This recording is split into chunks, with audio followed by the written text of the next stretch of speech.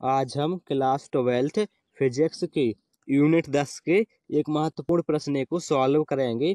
तो आज का हमारा प्रश्न है मॉड्यूलेशन या फिर इसी को मॉड्यूलन कहते हैं। क्या है? इसकी क्या आवश्यकता है एवं इसके प्रकारों को समझाइए। तो चलिए अब हम सबसे पहले जान लेते हैं मॉड्यूलेशन या फिर मॉड्यूलन क्या होता है। तो यदि आप हमारे चैनल पर नए हैं तो प्लीज़ हमारे चैनल को सब्सक्राइब भी कर लें ताकि इसी प्रकार की वीडियो आपको सबसे पहले उपलब्ध हो सके।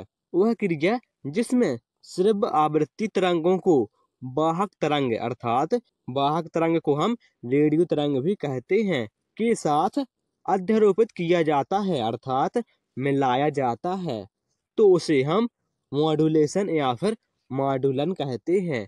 अर्थात जब कोई संदेश या सूचना बहुत दूर तक नहीं जाती है क्योंकि उस संदेश या सूचना की जो आवृत्ति होती है, वह बहुत कम होती है, इसलिए उस तरंग को रेडियो तरंग या फिर वाहक तरंग के साथ अध्यारोपित कर दिया जाता है, जिससे आसानी से वह संदेश व सूचना दूर तक जा सकता है। तो चलिए अब हम इस डेफिनेशन को डायग्राम के द्वारा समझ लेते हैं।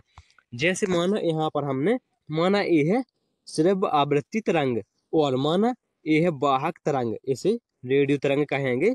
तो जब यह सिर्फ़ आवृत्ति तरंग और वाहक तरंग अध्यारोपित हो जाती हैं, अर्थात मिल जाती हैं तो हमें कुछ इस प्रकार की तरंग प्राप्त होती है जिसे माडुलन तरंग कहते हैं। तो यहाँ पर जो इस प्रकार है, ये इसको हम कहेंगे श्रव्य आवृत्ति तरंग, और जो यहाँ पर बीच में ऐसी ऐसी है, इसको हम कहेंगे वाहक तरंग। तो यह तरंग अब बहुत दूर तक सूचना या संदेश को बहुत ही आसानी से लिया जा सकती है।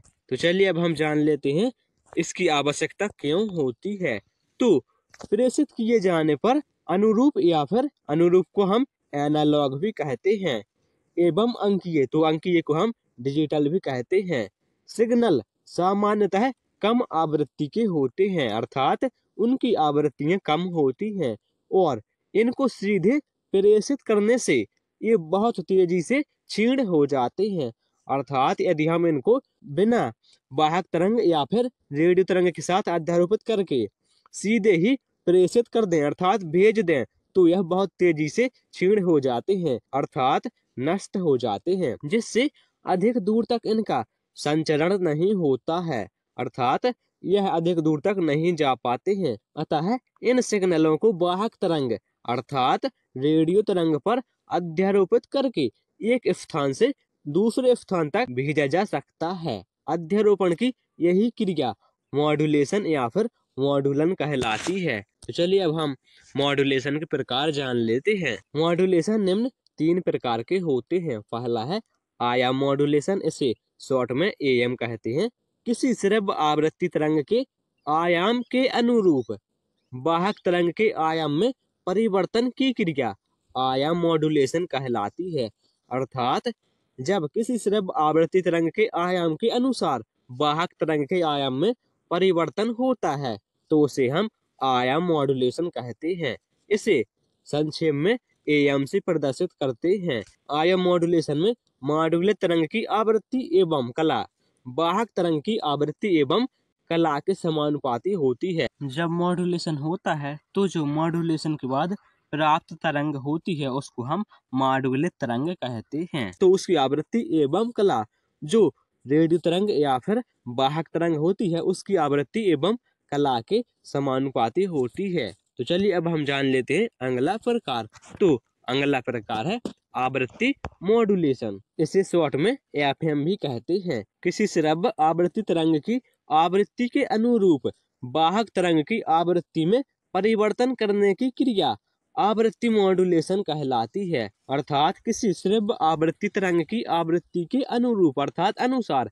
जब वाहक तरंग की आवृत्ति में परिवर्तन होता है तो उसे हम आवृत्ति मॉड्यूलेशन या फिर एफएम कहते हैं। इसे संक्षेप में एफएम से प्रदर्शित करते हैं। आवृत्ति मॉड्यूलेशन में मॉड्यूलित तरंग का आयाम एवं कला। वाहक तरंग के आयाम एवं कला के समानुपाती होती है। तो चलिए अब हम आगे बढ़ते हैं। अब हम जान लेते हैं कला मॉड्यूलेशन या फिर इसे शॉर्ट में पीएम भी कहते हैं। क्या होती है? किसी श्रव्य आवृत्ति तरंग की कला के अनुरूप वाहक तरंग की कला में परिवर्तन करने की क्रिया कला मॉड्यूलेशन कहलाती है। अर्थात किसी श्रव्य आवृत्ति तरंग की जो कला होती है, उसके अनुसार यदि वाहक तरंग की कला में परिवर्तन हो जाए तो उसे हम कला मॉड्यूलेशन कहेंगे। इसे संक्षेप में पीएम से प्रदर्शित करते हैं और कला मॉड्यूलेशन में मॉड्यूलित तरंग का आयाम एवं आवृत्ति। वाहक तरंग यहाँ पर सॉरी वाहक नहीं लिखा है, वाहक तरंग के आयाम एवं आवृत्ति के समानुपाती होती है। Thank you